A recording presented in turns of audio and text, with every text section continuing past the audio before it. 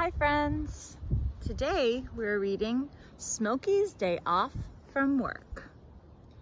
It was Smokey's day off from work. I need some rest, he said to Katie Kitty. How about spending a quiet day in the country with me? That sounds very nice, says Katie. So Smokey and Katie went on a picnic. Smokey brought sandwiches. He brought milk. Katie brought some blueberry pies. What a good lunch they had. Then they went to the pond. They watched the frogs swimming. It was very quiet. Smokey almost fell asleep. All at once, they heard loud voices. The voice had said, help, help, come quick.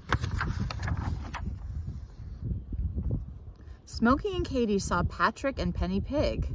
Our barn is on fire, shouted Penny. We're here, said Smokey. We will help.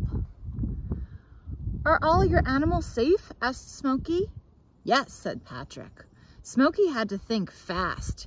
He did not have his fire engine. He did not have his fire hose. What could he do?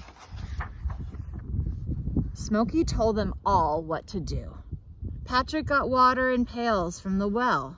He gave them to Penny. Penny gave them to Katie. Katie gave them to Smokey. Smokey was up on a ladder. Smokey threw water on the fire. Farmer Fox was waiting. Smokey threw down the empty pails to him. Farmer Fox ran with the empty pails to the well. He gave the pails to Patrick, then Patrick filled them again. Soon the fire was out. Thank you, Smokey, said Patrick and Penny. You saved our barn.